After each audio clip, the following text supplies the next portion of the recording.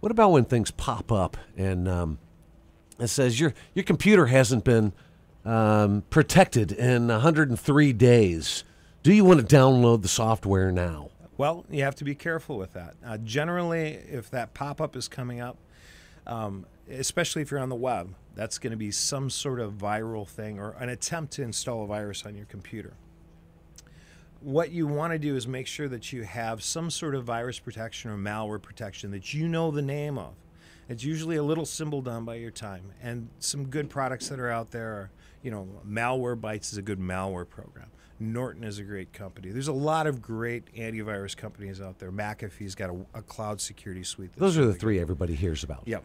But what you really want to do is you want to sit down with somebody that's educated. And this goes for business owners, office managers out there.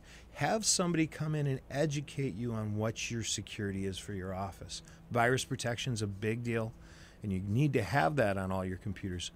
And if you have questions, ask those hard questions. There are no bad questions when it comes to cybersecurity. Hmm.